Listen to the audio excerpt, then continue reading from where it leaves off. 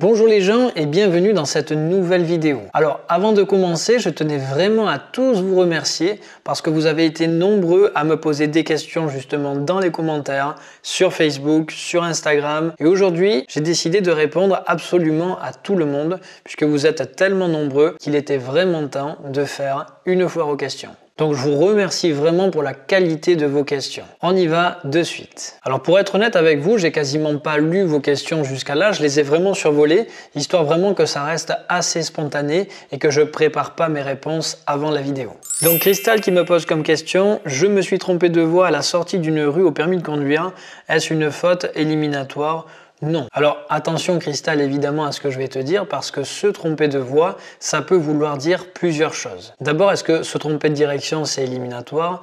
Absolument pas. Maintenant, si tu es placé pour aller à droite et que l'inspecteur t'a demandé d'aller tout droit, j'espère vraiment du fond du cœur que tu t'es trompé et que tu as été dans la mauvaise direction. Parce que si au dernier moment tu décides par exemple de mettre un gros coup de volant pour changer de voie, là à ce moment-là tu risquerais d'être éliminé pourquoi? Parce que ce que tu fais, c'est tout simplement dangereux, mais surtout à la base interdit. Deuxième question pour Solikim. Les délais ont explosé, comment ça? Alors il me parle en fait des délais d'attente sur une vidéo que j'avais fait euh, il y a un peu plus d'un an maintenant. C'était au tout début du confinement. Les délais d'attente ont un peu explosé parce que si tu veux, les inspecteurs du permis de conduire coûtent cher à l'État. Et je dis ça, je dis rien, mais je vais juste donner le fond de ma pensée. À mon avis, Solikim, on est de plus en plus en train d'aller vers la privatisation du permis de conduire. J'ai comme le sentiment qu'aujourd'hui les inspecteurs, on aimerait vraiment les écarter du permis de conduire, les reclasser ailleurs, de manière à privatiser tout ça. Donc un, on manque vraiment de place de permis de conduire, et deux, la crise sanitaire n'a absolument rien arrangé. Alors là aussi, attention, ça dépendra des départements, mais la plupart du temps, les départements souffrent d'un manque de place d'examen. Troisième question avec NG Bailey, alors je vais résumer un petit peu. Donc toi NG, tu as fait beaucoup d'heures dans une auto-école, 40, et en as payé 45, et on te fait comprendre en gros que ce sera pas suffisant du coup euh, pour passer le permis de conduire. Tu as l'impression qu'on fait traîner les choses pour gagner plus d'argent. Une de mes collègues à mon travail m'a informé qu'elle a aussi été dans le même cas dans cette même auto-école. Que me conseillez-vous de faire? Alors NJ, c'était sur euh, Messenger, je t'ai répondu de manière privée, mais je me suis dit que cette question, elle revenait quand même assez régulièrement justement dans les commentaires. On me demandait souvent mon avis et j'ai décidé finalement de partager donc cette question, mais aussi ma réponse. Alors quand c'est comme ça et qu'on a des doutes un petit peu sur son auto-école, ce qui arrive fréquemment finalement, il faut pas avoir peur de faire plusieurs choses. D'abord, la première des choses, c'est vraiment de se référer à la première heure d'évaluation à combien NJ tu as été évalué d'heures de conduite. Est-ce que c'était 20, 30, 40, 50 ou plus?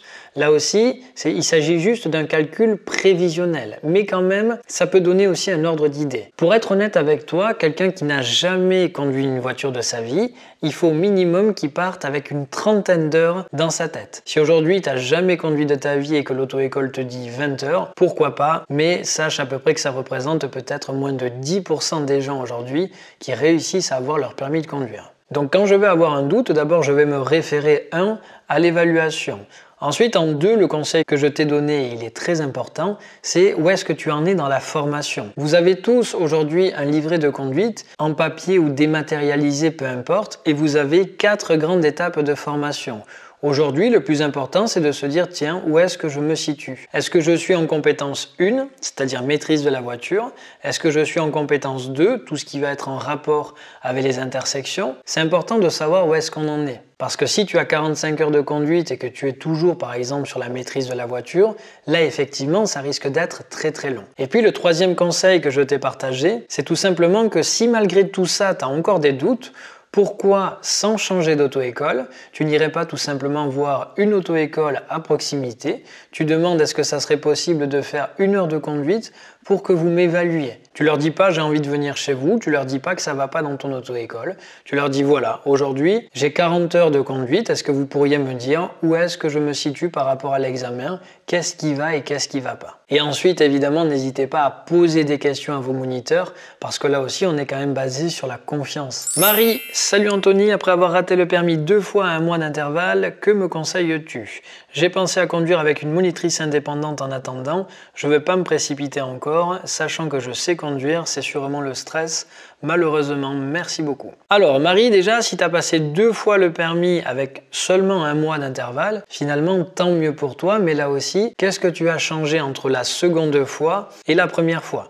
Parce que déjà un mois d'intervalle, c'est très court, hein. ça veut dire que finalement derrière, il faut avoir une introspection. C'est-à-dire que le premier réflexe qu'on a quand on loupe l'examen, c'est tout de suite de dire Ah bah tiens, quand c'est que je repasse, quand c'est que je repasse. Mais honnêtement, si tu repasses demain par exemple pour faire exactement la même chose, tu risques là aussi d'avoir le même résultat. J'avais fait une vidéo d'ailleurs il y a quelques temps sur un échec au permis de conduire, comment je devrais le vivre. Je vais essayer de te mettre le lien juste en haut de la vidéo, que tu puisses un petit peu aller le voir si justement tu te trouves à la place de Marie. Et moi, ce que je te conseille, c'est surtout d'essayer de voir qu'est-ce qui n'a pas été. Et si jamais c'est pas une erreur éliminatoire, essaye de voir là aussi en termes de points où est-ce que tu te situes. Tout ça, c'est très important derrière, d'analyser la globalité du permis de conduire et pas juste une petite partie. Essaye de faire un bilan toute seule ou avec ton moniteur d'ailleurs, pour voir justement ce qui s'est passé dans ces deux examens. Renforce tes lacunes, ou ta lacune, hein, peut-être que tu en as qu'une qui te paralyse complètement le reste.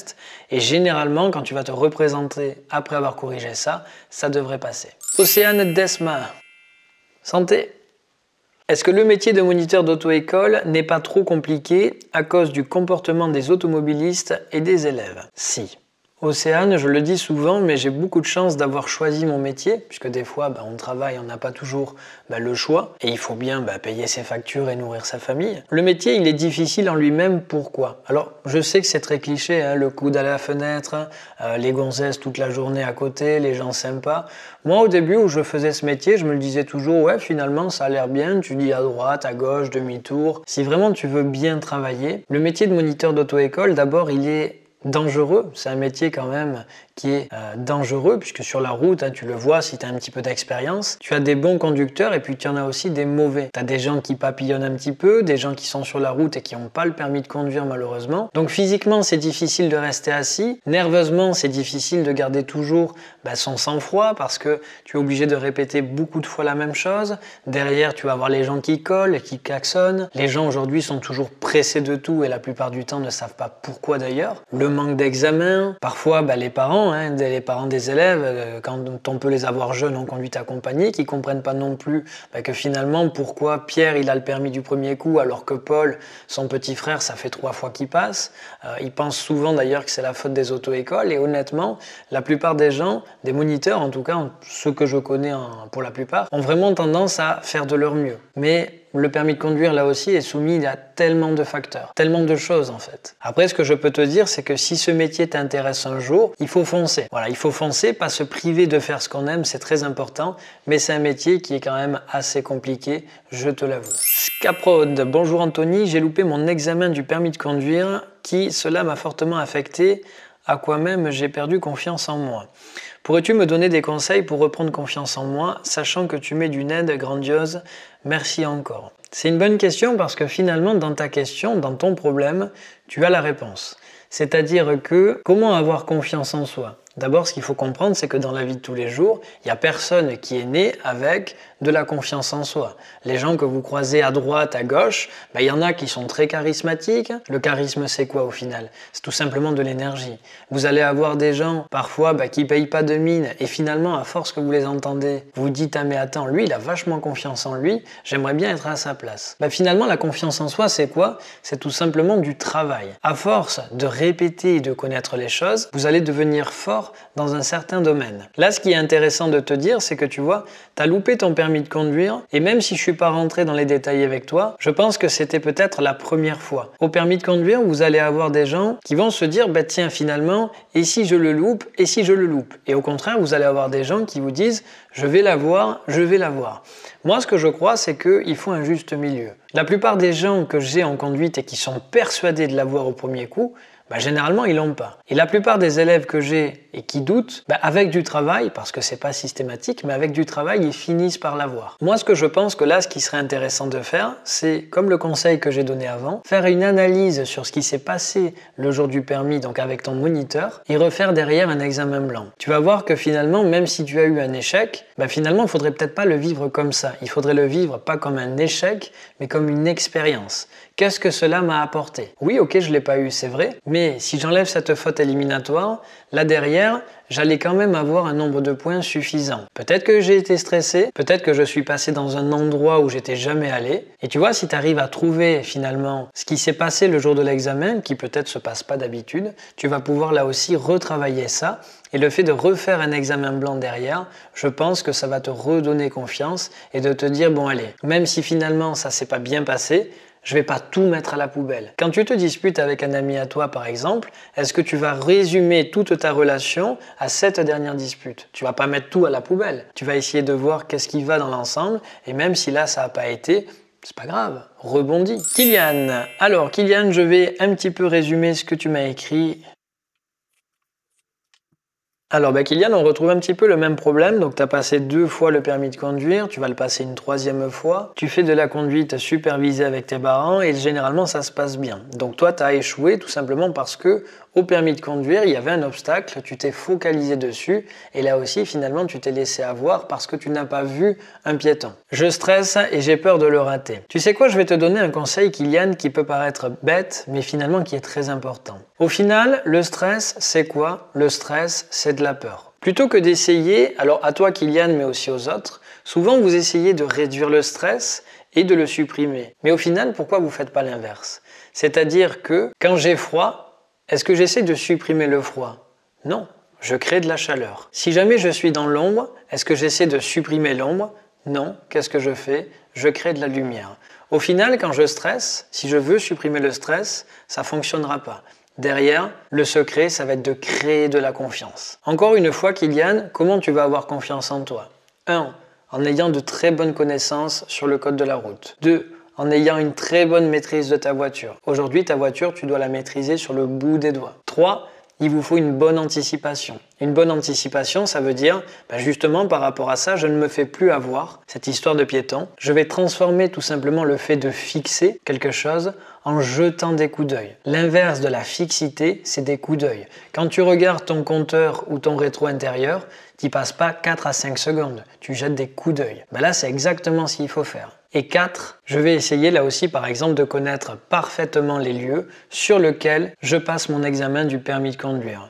Honnêtement, si tu agrandis ta confiance en toi en travaillant un petit peu tout ça, pourquoi pas encore une fois en faisant de la conduite commentée des examens blancs, je vois pas pourquoi ça serait possible d'échouer une troisième fois. Momo que penses-tu d'Ornicar et des auto-écoles en ligne en général? Je me suis jamais exprimé sur euh, les plateformes en ligne en général. Honnêtement, je pense que les créateurs, alors je vais répondre pour Ornicar, mais les autres finalement, je pense que c'est à peu près pareil. Je pense que c'est tout à la base, sauf des auto-écoles. Si tu veux, les créateurs d'Ornicar aujourd'hui, qu'est-ce qu'ils ont fait? Ils ont tout simplement entendu une colère pour derrière finalement aller créer du business. C'est-à-dire que ma critique n'est pas gratuite. Mais en fait aujourd'hui les créateurs de Hornicar, c'est toujours pareil, c'est pas eux qui font des leçons de conduite aux gens. Aujourd'hui on a fait rêver que ce soit les candidats et les moniteurs en disant aux candidats tiens vous allez payer que dalle pour avoir votre code et aux moniteurs tiens vous allez être payé le double de ce que vous gagnez en auto-école en travaillant pour nous. L'idée à la base elle est parfaite. Sauf qu'au final est-ce que c'est réellement comme ça que ça se passe. Des élèves de chez Ornicar, j'en ai eu beaucoup. Des moniteurs d'auto-école qui travaillaient pour Ornicar, j'en ai reçu beaucoup là aussi.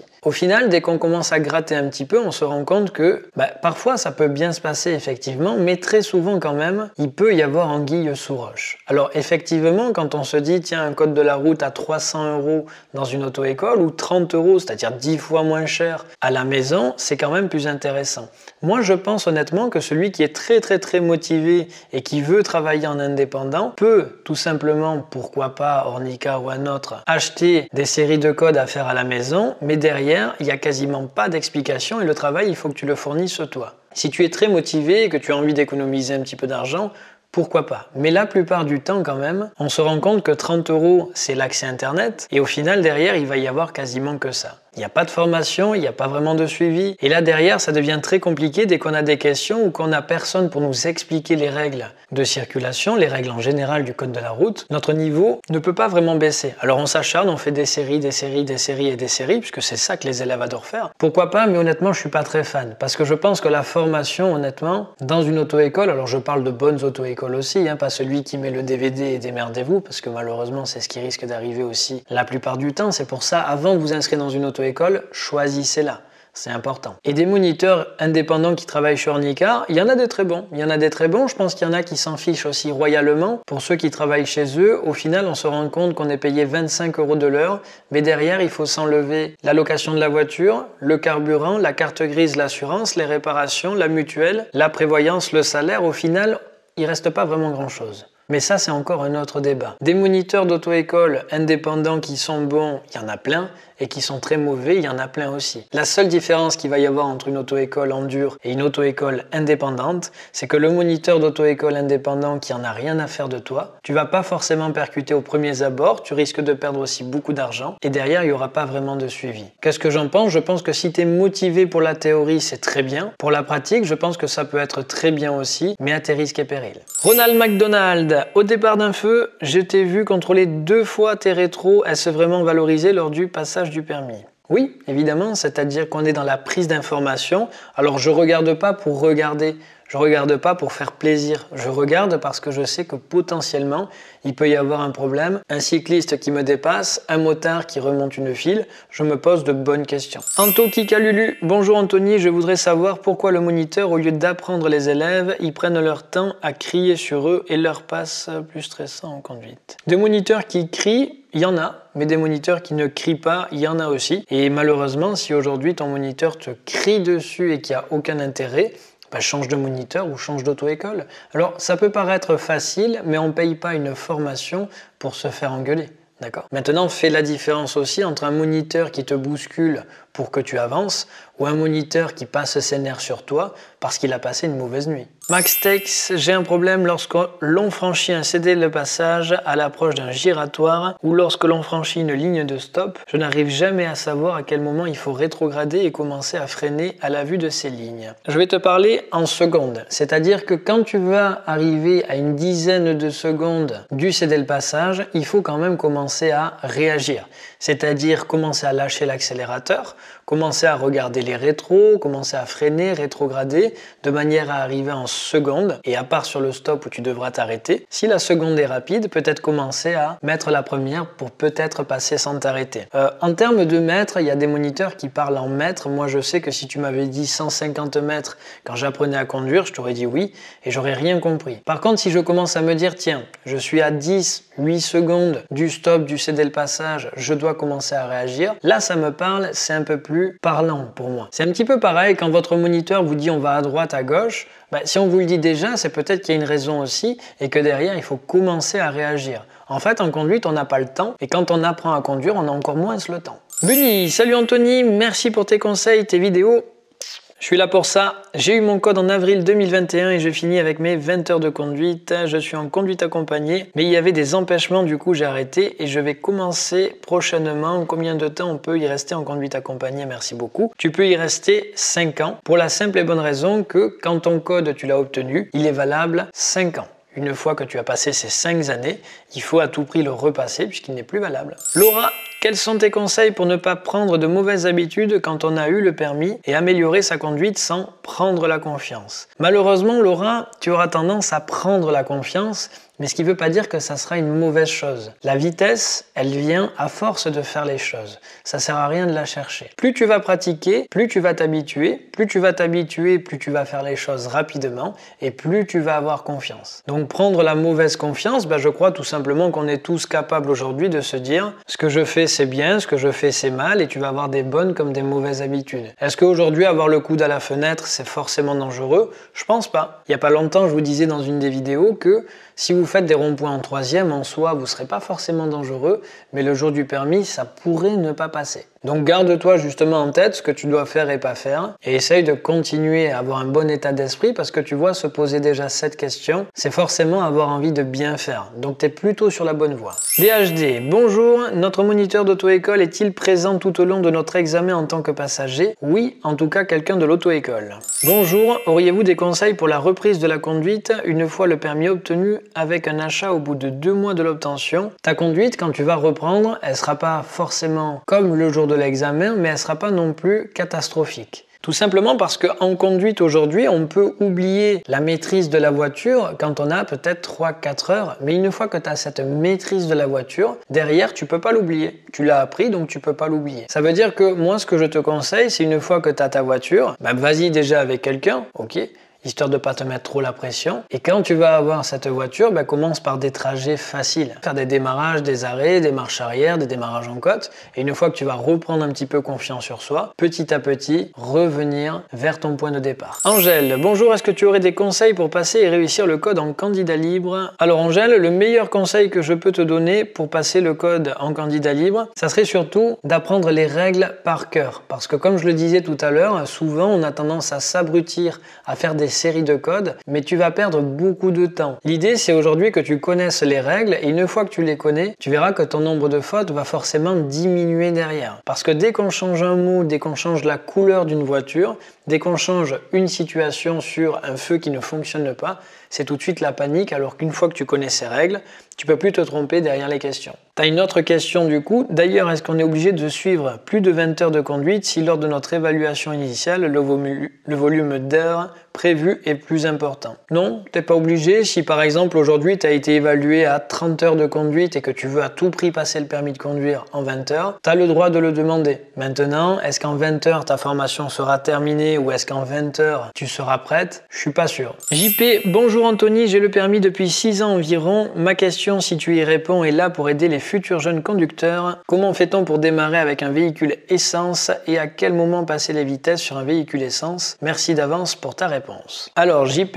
le démarrage sur un véhicule essence est exactement le même que sur un véhicule diesel, mais attention, parce que très souvent aujourd'hui sur nos voitures d'auto-école, vous avez tendance à vouloir démarrer qu'avec l'embrayage. Et souvent, je suis prêt à parier cher que vous entendez vos moniteurs vous dire accélère plus, accélère plus, accélère avant d'avancer. Et c'est là où il faut comprendre que tu vas devoir accélérer pour pas caler et embrayer pour avancer. Si tu avances sans accélérer, tu vas caler. Au niveau du passage de vitesse, je te conseille de les passer à peu près à 2000-2500 tours minute. Kiziri, raté trois fois le permis à cause du stress. Comment gérer le stress? Est-ce que changer d'auto-école est une bonne idée pour mieux se former? Merci. Tiziri, il faut faire attention à quelque chose, c'est que là, par exemple, dans ce que tu es en train de me dire, c'est que tu es en train de me dire pour me former, est-ce que je dois changer d'auto-école Ça veut dire plusieurs choses. D'abord, peut-être que tu n'as pas vraiment confiance en ton auto-école et j'ai envie de te dire, c'est un petit peu dommage d'avoir attendu de passer trois fois le permis de conduire avec eux si tu as l'impression de ne pas être bien formé. Ensuite, il faut se dire aussi que le stress va venir probablement des erreurs que tu fais et pas à cause du stress que tu fais des erreurs. Il y a une nuance importante à avoir là aussi. Moi, ce que je te conseille, c'est de voir où est-ce que tu en es là aussi dans la formation. Pourquoi pas changer d'auto-école, ça c'est à toi de voir, et essayer là aussi derrière de faire du renforcement dans tes lacunes. C'est-à-dire est-ce que c'est ta maîtrise de la voiture, est-ce que c'est plutôt ton anticipation en général, est-ce que tu as tendance peut-être à ne pas assez chercher les indices sur la route et à te faire avoir facilement? Attention en fait à bien déterminer la source de ton stress. Marie-Pierre, bonjour Anthony, quel conseil as-tu à tes candidats qui hésitent de passer en boîte manuelle ou auto? Au bout de combien d'heures de conduite leur proposes-tu d'essayer la boîte automatique? On va dire quand ils ont 20-25 heures de conduite et que je sens que ça va être très long et très cher, si les erreurs viennent toujours de la boîte mécanique, je leur conseille de s'orienter plutôt vers la boîte automatique. Suzari Kain. Alors en gros, tu me dis que tu as euh, loupé deux fois ton permis de conduire et que tu es donc ce qu'on appelle dans le jargon des moniteurs un B3 et que du coup tu vas devoir attendre très longtemps. Tu me demandes en gros si changer d'auto-école te fera passer plus vite l'examen du permis de conduire. Pour faire simple avec vous,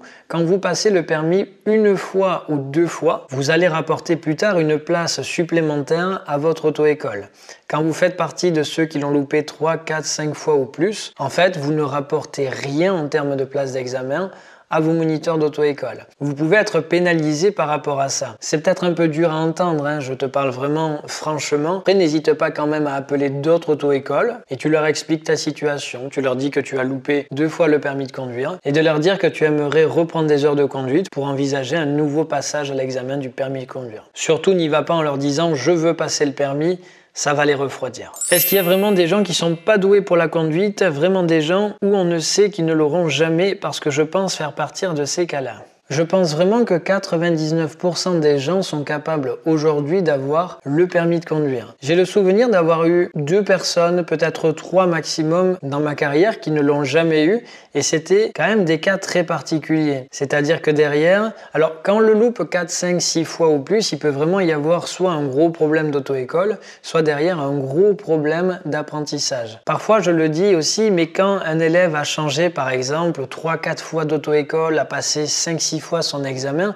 ça devient très compliqué d'aller créer quelque chose par-dessus parce que finalement les fondations, bah, elles n'ont pas toujours été très bonnes et en fait par-dessus, il y a eu plusieurs moniteurs qui ont expliqué des choses, un élève qui a malheureusement confondu aussi les choses et ça va devenir compliqué derrière d'aller créer une nouvelle structure. Alors est-ce que je pense qu'il y a des gens qui ne l'auront jamais? Effectivement, je pense qu'il y a des gens qui ne seront pas capables de l'avoir. D'abord parce qu'on va être dans une grosse phase théorique. Aujourd'hui, le code, il est quand même assez compliqué. Et en deux, il va y avoir aussi le côté pratique. Vous savez, la conduite, aujourd'hui, ça nous oblige à avoir de la synchronisation dans trois choses. Le regard, les pieds et les mains. Et mis à part la batterie, ben, c'est rare en fait de trouver un exercice qui nous demande d'utiliser ces trois choses-là. Plus derrière la gestion du stress, des et c'est vraiment pas un travail facile. C'est tout pour aujourd'hui les gens, je vous remercie beaucoup d'avoir posé toutes ces questions-là. N'hésitez pas encore une fois à en poser d'autres dans les commentaires, histoire que j'y réponde et que le reste de la communauté le fasse aussi à ma place si parfois j'oublie. On se revoit bientôt les gens,